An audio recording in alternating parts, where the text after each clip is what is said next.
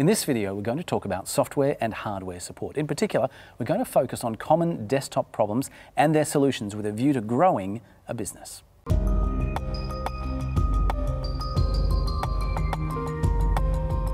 Dan, how are you? Good, thanks, Tim. So Dan, you've written a book called Downtime, Disruption and Deception, which really focuses on common desktop issues and their solutions. Mm-hmm. And I know that a big chunk of the book is a practical guide to answering some of these questions. We've spoken about it's going too slow. We've spoken about uh, it's crashing and even an upgrade path. What are some of the other questions that you address in the book?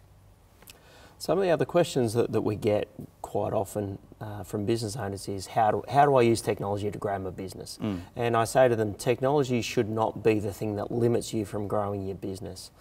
Um, whether you want to add more people, even if it's just a few people, or whether you want to grow into new, uh, whether you want to set up new offices around the country, or even in fact set up in new countries, uh, set up your office in another country technology should not be the thing that limits you from doing that, it should be the thing that enables you to do that.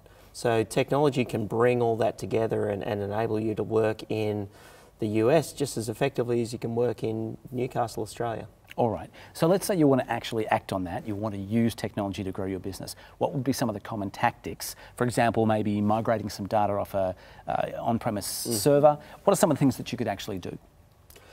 So when a business wants to move from one office into two, three, five offices, generally outside the, the, the one location, that's where we then say take the take the data off the server in your office and move it into the cloud. And that then means that it's more accessible to those people outside the office from, from that point onwards.